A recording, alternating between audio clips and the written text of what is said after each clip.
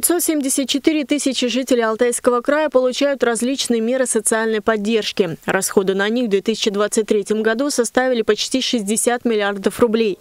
Итоги работы служб социальной защиты края подвели сегодня. Их оценил профильный министр России Антон Котяков.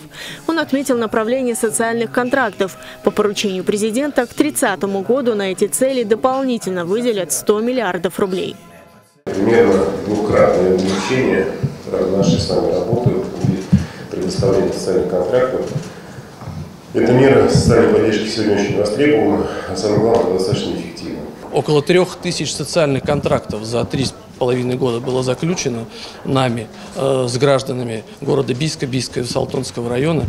Ну и эффективность этих контрактов 70 с лишним процентов. Они перешагнули черту э, бедности, так скажем, вышли на новый уровень жизни.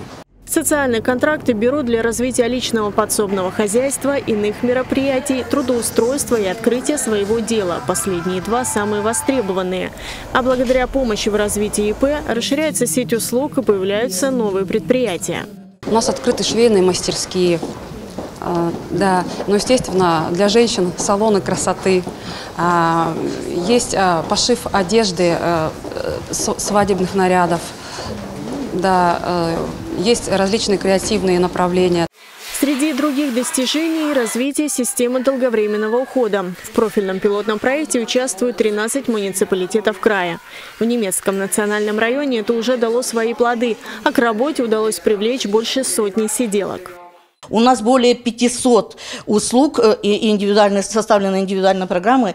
Это инвалиды 18+, это тоже большая работа. Сегодня еще одно направление – это социальная занятость инвалида с ментальными э, нарушениями. Участники Великой Отечественной и дети войны получили субсидии на сумму больше 80 миллионов рублей на жилье, ремонт и адресную помощь. Активную поддержку оказывают участникам СВО и их семьям. В прошлом году им направили больше 2 миллиардов рублей финансовой помощи. Анастасия Дороган, Дмитрий Денисов. День с толком.